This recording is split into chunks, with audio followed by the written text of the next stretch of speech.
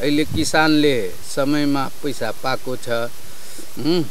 मिलसँग मालिकसँग सबसँग हामी बसेर छलफल गर्दा उहाँहरूले निकास निकाल्नुभयो। धेरै हामीले मेहनत गर्नु पर्यो।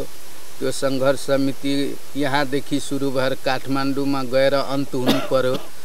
धेरै नै हामीले गर्दा गर्दा गर्दा अहिले बल्ल अलिकति भुक्तानीमा सुधार आएको छ।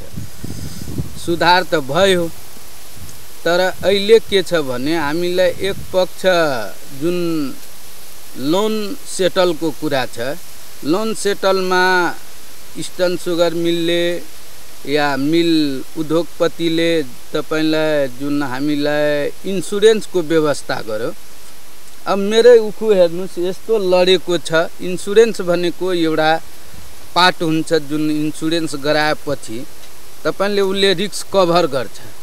अब मेरो यहाँ दुई सय कुन्टल सय कुन्टल बराबरको क्षति छ उत्पादन ह्रास छ।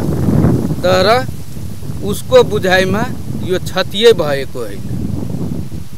मैले अब लोन लिँदा इन्सुरेन्स गर्नै पर्छ इन्सुरेन्स पनि गराएँ बाह्र हजार कति मेरो पैसा पनि काट्यो एक बिघाको। अब त्यति गराउँदा अहिले उसको रिस्क कभर छ छैन। हामीले सारा डकुमेन्ट दिए असोज भदौ असोजको जुन हावाहुडी वर्षा जुन थियो यसपालिको हामीले सब इन्सुरेन्स क्लेम गरेको छु। के भएको छ अहिलेसम्म हामीलाई भयो भएन उखु निगरानी पनि अहिलेसम्म भएको छैन।